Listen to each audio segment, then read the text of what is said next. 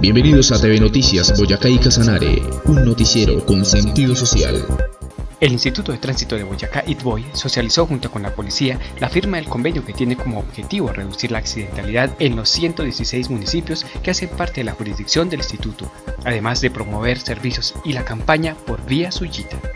Es una campaña que busca promover los valores de la seguridad vial, reducir la accidentalidad, generar conciencia vial en cada uno de los conductores, los actores viales, los motociclistas, los ciclistas, los peatones, los pasajeros y hoy nos estamos aliando con la Policía Nacional para continuar y perpetuar por un buen eh, periodo de tiempo una estrategia y una alianza que es absolutamente necesaria y que lo que busca es trabajar objetivos comunes como es la seguridad vial.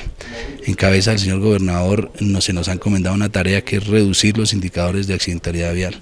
Este gobierno lo ha logrado con respecto al 2015, el 2016 fue muy positivo, pero con respecto al 2016, el 2017 está siendo mejor. Entonces esperamos continuar esa tarea, esperamos profundizar nuestras estrategias.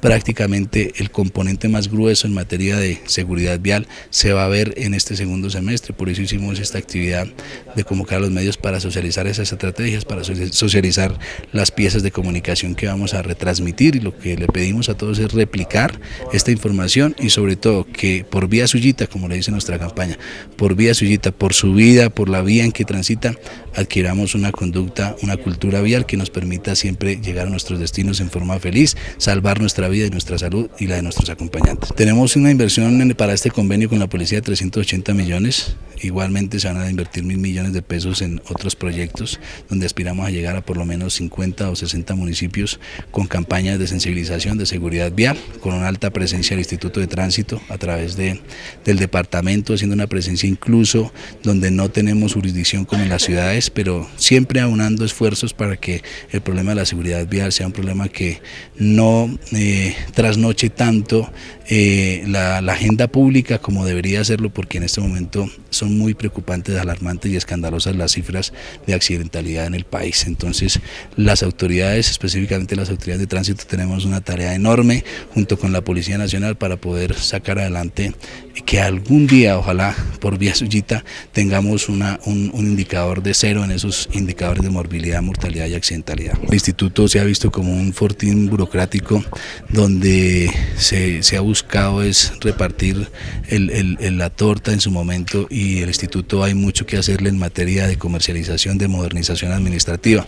Y este gobierno le ha, impreso no solamente transparencia, sino también que sea más eficiente, más eficaz y para eso estamos modernizando nuestra estructura eh, organizacional, estamos eh, depurando y creando una nueva planta de personal más acorde con los perfiles y la filosofía y las funciones misionales del instituto.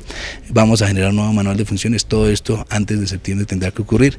Ahorita en, en los próximos días vamos a radicar una ordenanza, un proyecto de ordenanza a la Asamblea Departamental para contar con un nuevo plan tarifario que nos permita ser más competitivos frente a los organismos de tránsito regionales y de otros departamentos y de esa manera pues nosotros consolidarnos como la primera opción de registro de tránsito en licencias de conducción, licencias de tránsito, traspasos, cambio de color, eh, cambio de placa, etcétera, recategorización de licencias, etcétera, en el país y en el departamento por supuesto.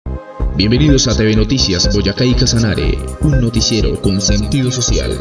Y volvemos con la última pregunta en ¿Quién quiere ser bregacense? Silencio, por favor. Por 10 mil millones de pesos. ¿Está usted listo? Listo, Nairo, sí. El Papa Francisco tiene una virgen hecha en Ráquira, Boyacá.